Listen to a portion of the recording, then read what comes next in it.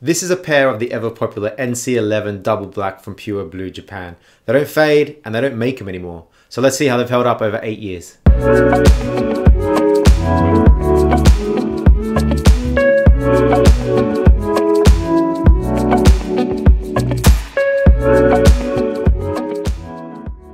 Right, here are my NC11s from Pure Blue Japan. They're the NC11BK, BK for black, and NC essentially stands for no change. And that is because it's got a black weave and a weft. So it's not been overdyed in black. It's just been woven with everything in black. And that means that everything's gonna resist fading like it would if it was overdyed. So it's not gonna fade from wear, it's not gonna fade from the sun, uh, all that kind of stuff. And the other thing was, is when they built the, or when they made these and they dyed these, they used a special dye called Indanthrene, and that was commonly used in, I think, military uniforms. Uh, and that's essentially a dye that uh, is uh, water insoluble, uh, and it resists uh, washing, wearing, sun, almost anything, etc. Now, these are discontinued. unfortunately, I'd love to buy another pair of these.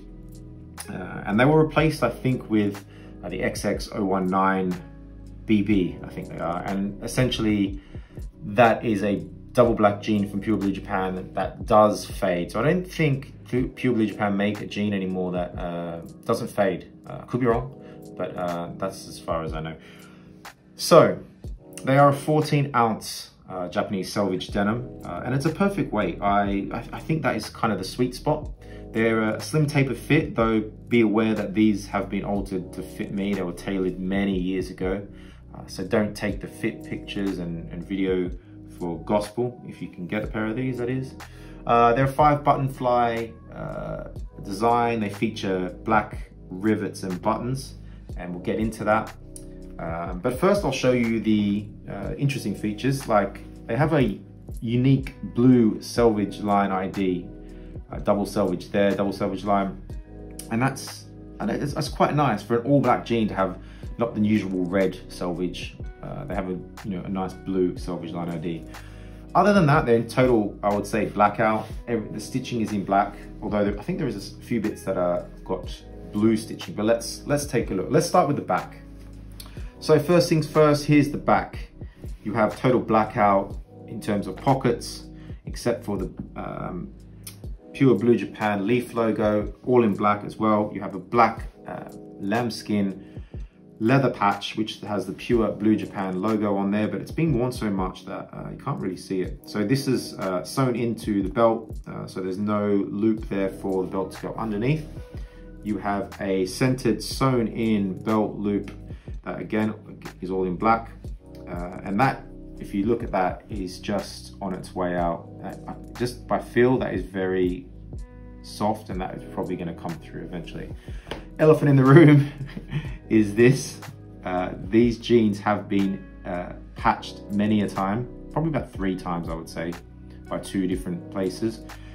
These were gonna be patched, um, but with lockdown, haven't been able to get there and I've got a few more jeans to take. So these are priority number one uh, when I get out of lockdown. Going on to the pockets, let's take this one. Uh, they are All the pockets are black lined as well, so you can see there's black lining there. What I will say is stitching is black all the way around. The top stitching here looks different. So I think this might be might be a lighter black or a blue stitching, or maybe it's just faded. But if you look at the difference, and I'll show you close up in the B-roll. So if you look at the difference, you'll see black going down and you see a light kind of a lighter black or blue going across the top. I think that is double, two different types of stitching. Other than that on the back, you see the wear is consistent with how often I've worn these and how long I've worn these for. Uh, you'll see here there's lovely bits of fade, um, not fading, but um, wear here. And apart from the major blowout there and the belt loop, everything else looks, you know, kind of in, kind of consistent with all the wear. So moving down to the backs of the knees, again, these don't fade, so it's hard to see, I guess, where the fades would be. I mean, it's not hard to see. You'll see here all these whiskers. I mean, that texture is beautiful. Feels really good in the in the hand as well. Um, the overall selvage feels extremely soft in the hand after all those years of wear. But over these uh, whiskers here, it's just like bumps, I love it. You'll see at the very bottom, uh, probably around the calves, where there is wear in between those, and that's starting to go through, uh, go through the fabric. You have your black stitching all the way down. As I said, you have your double blue line selvage ID, which is, I love that. It's really good. If we move to the front now, these are a blackout jean, so they were billed as uh, black rivets and black buttons. Uh, I think maybe because of where they're start. I mean, they are black there, yeah. It's just the, the bits that are raised have started to be a bit, show the metal, I guess. On the inside though, they're not. You have your pure Blue Japan leaf logo on the buttons, and then you have just uh, nothing on the rivets that are black. But this is where the interesting bit is around the pockets. So if I go to the left pocket, uh, you have the pocket bag here, which has the pure Blue Japan standard stuff. You get that on most of their jeans, how to wash them and all that kind of stuff, their signature. Uh, and the pocket bags are just, I think, I think they're just cotton. I don't know. Um, I can't really uh, tell. There's nothing much else to them. The interesting thing is if you go further in, you'll see that selvage line comes up. I mean, obviously comes all the way up to the pocket bag and stitched in there. Uh, with quite really good black stitching is where they've folded that over, stitched it in, and yeah.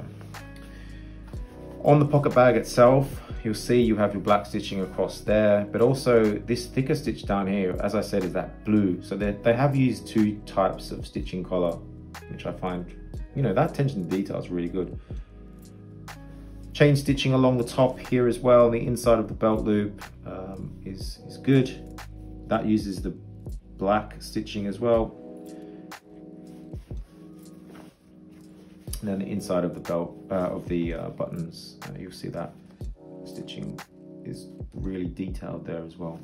If we move over to the other pocket bag, just sort this out. Uh, you'll see there's nothing on this one, but on the inside where the um, you'll see the stitching on the black stitching along here for the main pocket, but then you've also got your watch pocket, which is using the blue stitching. So they've differed the stitching color based on the pocket. That is really interesting. I love that. That's that's the attention to detail you want from a, a jean um, company.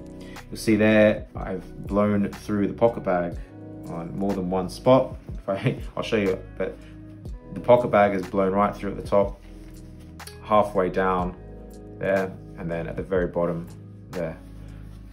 I'll show you again on the outside of that pocket. Basically the stitching of the rim of the pocket has come away. You can almost roll that, un unroll that, but it's, it's held up up until now, but that is just from putting my phone in and out. You'll see the pocket bag has come away from the pocket and then further down the pocket again, it's come away again. So they still work these pockets, but there's a few holes in them, so I just have to be careful where I put everything. If we come down to the knees, you'll see again, there's a little wear where the knees uh, stick out and it's faded a little bit. So I think, you know, if you look at that, that black here is different from the black everywhere else. So that's the kind of fade you'd get. But, you know, these are probably seven, eight years. I don't know how old they are. So they're holding up quite well.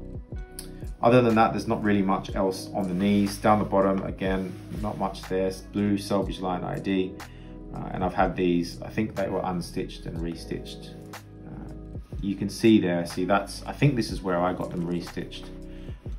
This stitching here looks fairly new, whereas this uh, one on the left hand side, on your right, I guess, is not. And I think that's because I had the leg openings uh, reduced, I think. It's so many years ago. If we look at the overall wear on the front here, you'll see uh, just where I put things in my pocket, they are starting to fray. Fabric here is starting to fray. Uh, well, it's frayed a lot, but overall, I think that's pretty good to help, hold up over the time. Uh, again, the crotch area has had a lot of work and you see on the back side it's blown through, so that needs to be fixed. These are by far my favorite pair of jeans. They're super, super comfortable. And if they made them, I still made them today, I would buy another pair. Now these were available in the day uh, in either raw or one wash um, denim fabric. And I, to be honest, I don't know what I got. But, you know, I just thought I'd give you guys a little insight into what is my favorite pair of jeans that I still wear to this day. I have some, had some people comment on my videos asking me what jeans I wear, and it's these ones. Uh, if you see me wearing a black pair of jeans. Yeah, hope you enjoyed that, and uh, yeah, that's my NC11 BK. Well, that's it. Hope you enjoyed that. If you did, give me a comment down below. Let me know what you thought. Uh, hit the like button. And if you haven't subscribed already, hit the subscribe button. Really helps me out. And I have got some really, really good stuff coming in the next couple of weeks. Got some new jeans just got last week from Okayama Denim from Pure Blue Japan as well. It's going to be incredible. So hit the subscribe button. And with that, uh, hope you enjoy your day and see you in the next one.